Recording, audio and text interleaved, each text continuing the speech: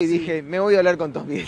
Que a Tommy no le gusta el puterío últimamente. No. No, está re tranquilo. Pero, Tomás, pero, un amor. pero hablas desde el estómago, de las entrañas, las Sí, sí, vísceras, sí, sí. cuando tuiteas cosas que ves, observás, estás adentro de, de Aptra, tenés gente con la que conversaste anoche, Sí. veías, veías, y cuál era el, el Vox Populi dentro del chat, de las conversaciones, del dimes y diretes.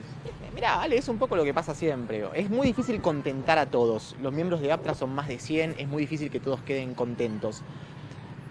A mí me pasa que siento un poco lo que tuiteaba, ¿no? Como que hay una, una cierta tendencia siempre en favor del canal que transmite. Yo Pero entiendo. está naturalizado eso, ¿no? Viste, algunos ya empiezan a decir, bueno, pero es el canal el que pone la plata, y, y se empieza a naturalizar todo. Yo tengo un colega que hoy me dijo, bueno, fue la fiesta de Telefe. Y yo me puse loco. La Le dije, telefiesta. "No, es la fiesta de la tele.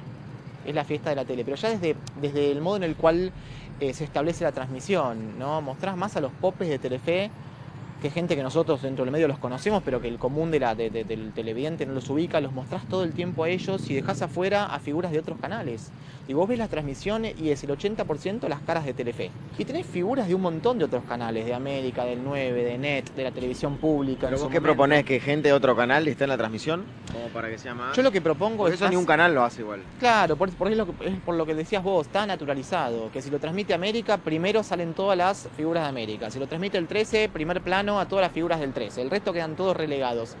Es la fiesta de la tele. Acá estamos reivindicando el esfuerzo, el trabajo, la entrega, Eh, de todos los que hacemos esta todos los que intentamos revitalizar una industria que está muy alicaída. Yo estoy en contra del mercantilismo televisivo. El mercantilismo televisivo establece que mientras más tenés, mientras más tenés, mientras más recursos tengas, mientras más presupuestos tengas, mientras más plata tengas, eso te va a garantizar que seas más que el resto.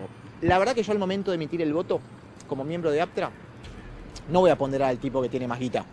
Digo, porque es muy fácil ganarte el premio o sobresalir por sobre el resto cuando tenés eh, un producto eh, pomposo, grandilocuente, insisto, no muy oneroso, que vos te das cuenta que hay mucha guita puesta.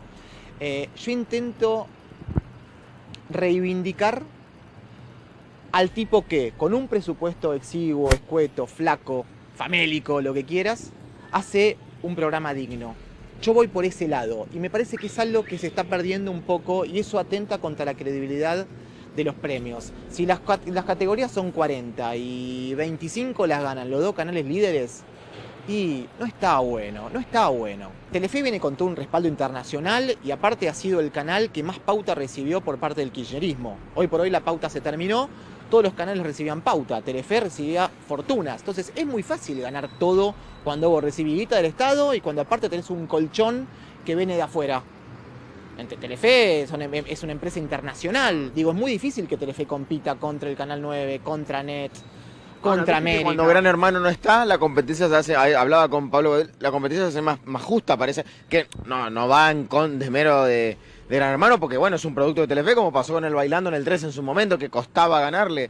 Pero viste que cuando no, hoy por hoy no está Gran Hermano, y hay que, es más artesanal la competencia. Sí, Los yo no- números no, son los mismos. No, nunca entendí el fenómeno Gran Hermano. ¿Ayer ganó Gran Hermano o ganó ganó Santiago? Gran Hermano, ganó Gran Hermano. Y ganó Santiago como conductor. Sí. Bueno, ni siquiera creo que Tinelli con el bailando se animó a tanto. Fue uno de los programas más virulentos y más violentos que yo vi en la tele durante los últimos 10 años. Fue un horror, fue un horror. Para mí fue realmente execrable. Es un, estos, es- sobre todo este último Gran Hermano, digno para archivar en el legajo del pasado, en una cajonera bajo siete llaves.